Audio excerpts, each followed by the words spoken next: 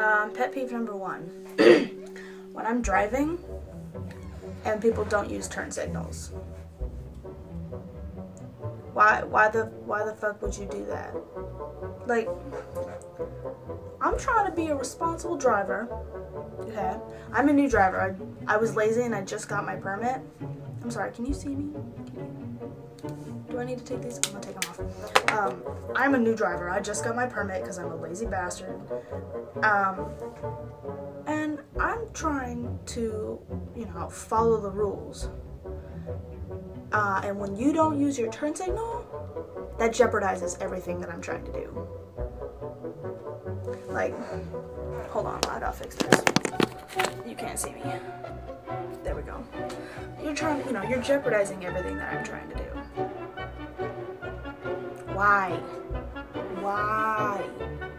You know? Like, what if I rear end you? What then? Like, I don't have the money for that. Like, if I rear end you or you rear end me or something like that, like, I don't have the money to pay for that shit. No. Okay, second thing that I hate, second pet peeve, which is an extension of pet peeve number one.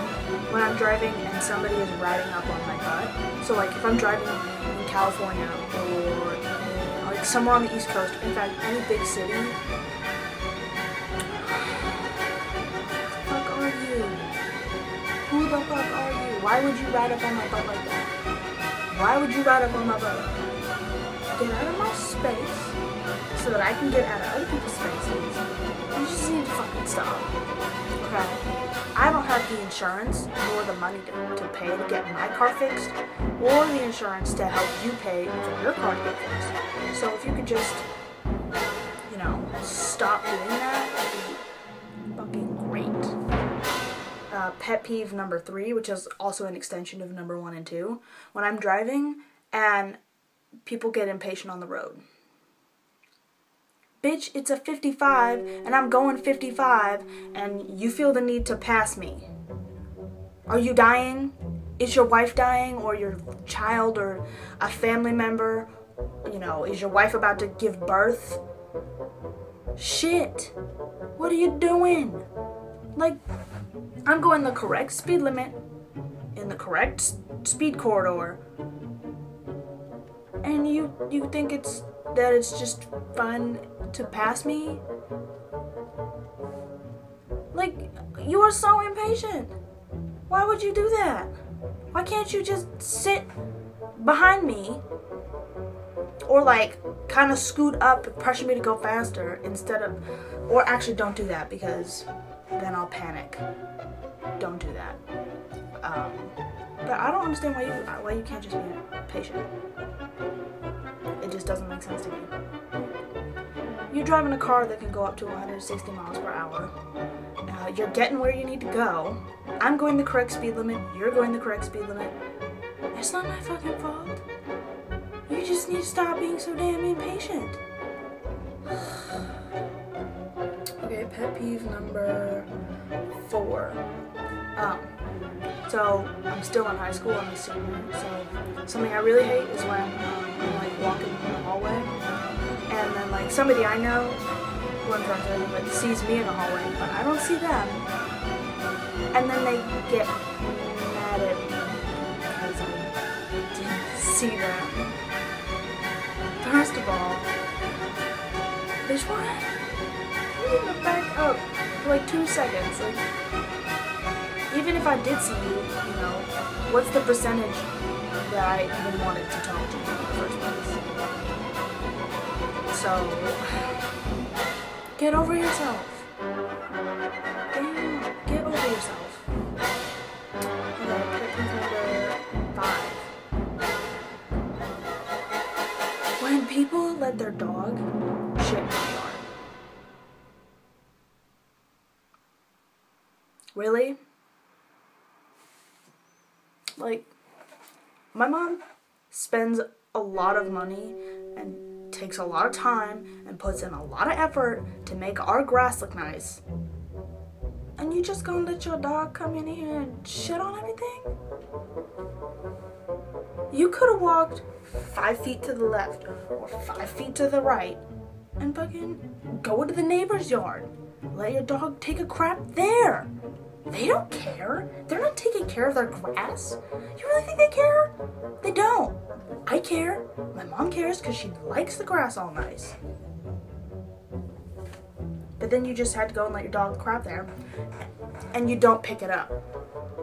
You know, like I understand your dog has to go when it has to go. But if you're not prepared to pick up that shit, literally,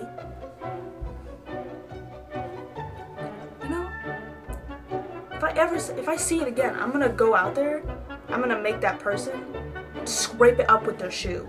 If they don't have a bag, pick it up. Scrape it up with your shoe. Get it out of my yard right now. That's disgusting. And I walk through my grass when I come home and I get off the bus stop and I come and I walk across my grass. I don't want to stop in dog poo. No. No. No. Unacceptable. Don't ever let your dog go take a crap in my yard. Ever. Ever. Don't ever do that. Don't ever. Number six. Okay, I'm a choir student. I love singing. I love music. It's pretty much what my life revolves around, other than like Emma and my boyfriend Twitter. Yeah. So like, if I'm not doing any of those three things, if I'm not like dealing with any of those three things, then I'm singing or sleeping. But singing is definitely a big part of my life. okay, so I like to spare other people, um, you know, the, you know, breaking the silence by not singing anywhere but the choir room as much as possible. Okay? If I'm in the choir room and you're in the choir room, I don't care how hard your head hurts. I don't care how much it hurts. I don't care how much you feel like shit.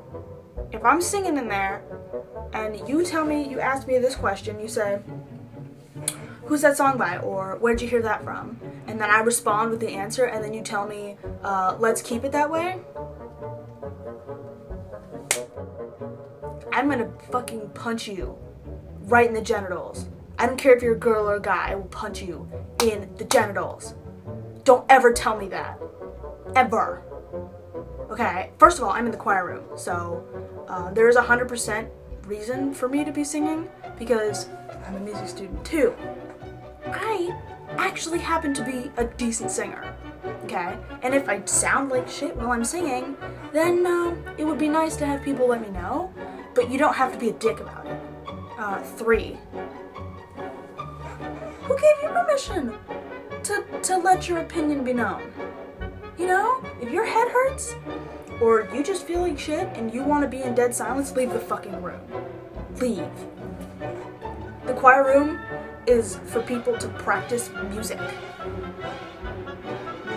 hang out with other people practicing music or not practice music at all because my friends I hang out there. But if I'm in there and I'm singing, you have absolutely no right to tell me that I can't sing because it's a fucking choir.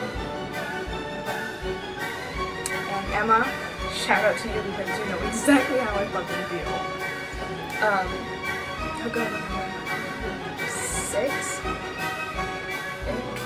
Um, when girls or guys, people come to school wearing clothes that don't complement their body type. We'll start with boys. Boys, if um, if you're gonna come to school in a bro tank, please have muscles because otherwise you kind of look like a skeleton.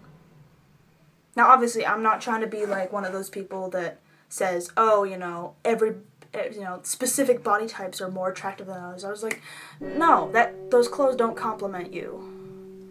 You need to be wearing other clothes that make you look fabulous. That bro tank that doesn't make you look fab. You look like a crack addict that just came out of his trailer from snorting a line of coke. Or how I don't even I don't know how that works. I'm not a crack addict. So, however you guys do it up. I don't fucking know. I'm not I'm not a, I don't do crack or I don't snort things. I don't wet drugs are a no-no. At least for me. If you want to go and do that, leave me out of it. But you can go ahead. I don't I mean it's your life. But don't don't include me. But like. Shooting up. They shoot up crack, right? Sorry if I've offended any crack addicts out there. Um, okay, on to girls. If you come to school wearing clothes that don't compliment you, um, then I hate you. I don't like you.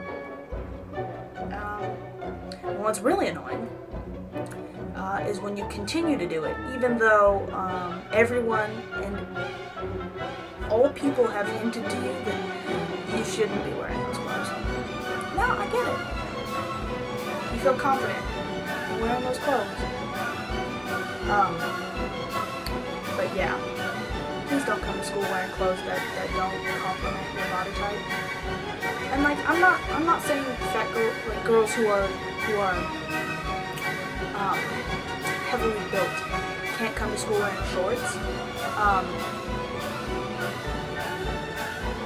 uh, never mind. Um, number seven. Okay, this is gonna be kind of, this is the last one because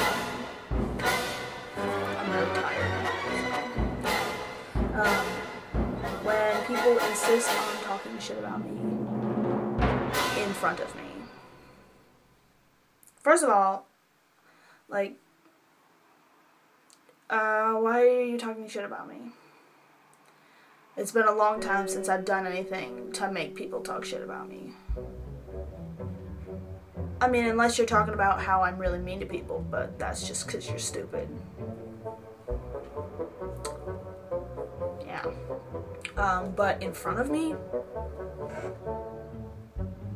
bitch, just say it to my face. You're like five feet from me. Just come on over here and fucking spew it all out. Vomit all of those nasty words right in my face so that I can tell you to suck a dick. Because I probably don't like you anyway. So.